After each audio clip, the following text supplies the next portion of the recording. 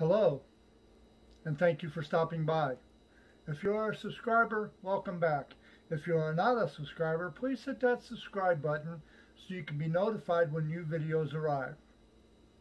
Well, in the news today, I came across something I thought was very interesting. Donald Trump has decided to open up an office and finish off his agenda that he couldn't finish as president. Now, my question is this. What makes Donald Trump think that he is going to be able to get anything done as a private citizen in the private sector that he couldn't get done as president? I understand it's wishful thinking, and, and I feel for the ones that voted for Donald Trump, and I feel for the ones that were upset when he lost. I really am. I really do feel for you. I do. I understand. It's not easy when your favorite guy loses. Just like my favorite team, the Seattle Seahawks, when they lose, that is not very fun. I don't relish the idea. I don't like the idea. Therefore, I believe that they got a bad turn. It's not that they played bad. It's not that the Seattle Seahawks didn't live up to their uh, reputation. It's that they got gypped. The other team cheated.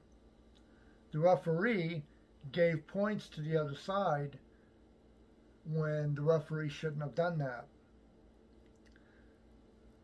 When actually the Seattle Seahawks just had an off day. Everybody has an off day. But when it comes to Donald Trump, for some odd reason, people out there, and I've had people tell me this. I was just speaking to a lady. Well, actually, I was writing her. I wasn't really speaking to her. I was writing her on Facebook. And we started off on the wrong foot, but then I started to kind of open her up a little bit.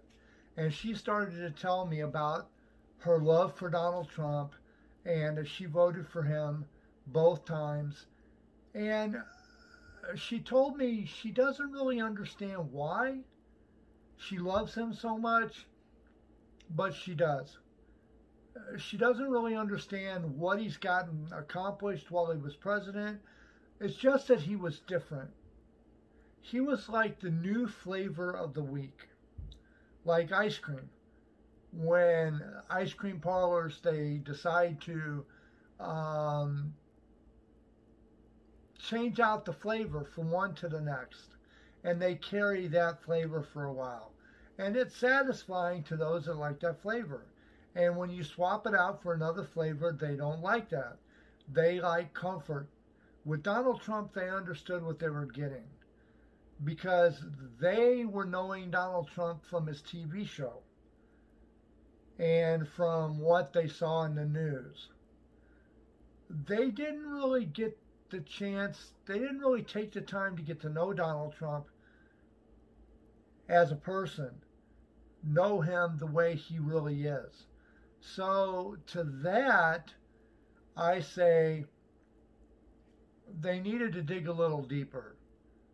But they loved what they liked and they gravitated to what they liked and they were afraid to dig deeper because they were afraid that the image of Donald Trump would somehow not be as good. Like you see food, the image makes it look really delicious and really gorgeous, and oh, I bet it tastes great.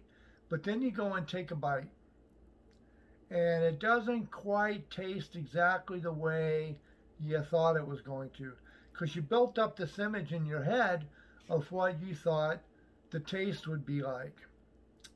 Well, with Donald Trump, it's kind of the same way.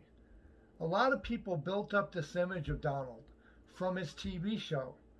Uh, they built up an image from interviews they had seen in the past about how he believed on certain ideas for um, political. Um, his take on 9 11, uh, possibly. Um, they did softball questions back then, and he answered them because he wasn't running for president. So this time he actually made it, and a lot of people expected the Donald Trump from the Celebrity Apprentice Donald Trump or from the Howard Stern Donald Trump.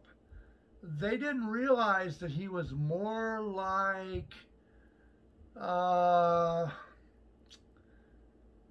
a Dr. Jekyll, Mr. Hyde kind of thing. To where they just basically knew the Dr. Jekyll, they didn't know the Mr. Hyde.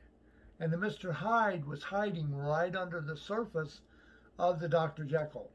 So, um, if you think of a reason that Donald should keep or to start that office, uh, I believe it's in Palm Beach or Palm Springs.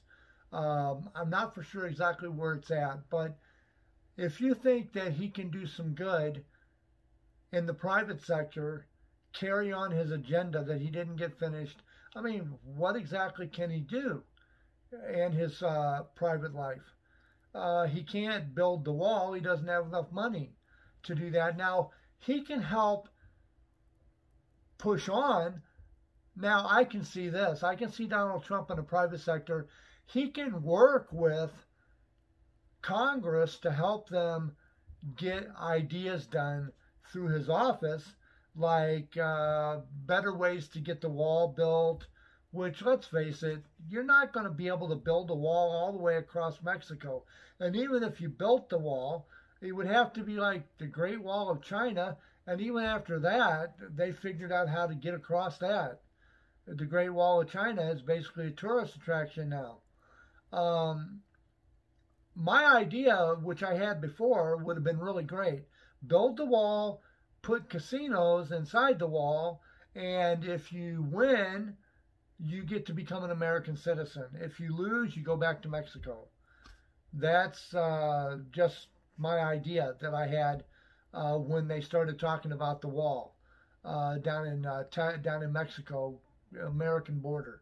So uh, again, if you can think of anything that Donald Trump had talked about getting done as president that he wasn't able to get done while he was in office because of the Democrats and the Republicans fighting him on this, let me know in the comment below, right down there in the comments.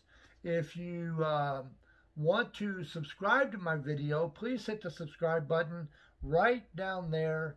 Um, I have uh, enabled the like and the dislike button. I really don't care if anybody dislikes my video because I figure, what the heck, they're just going to dislike it. So, having said that, I'm going to leave you on this note. Make America better than yesterday by doing the very best we can today.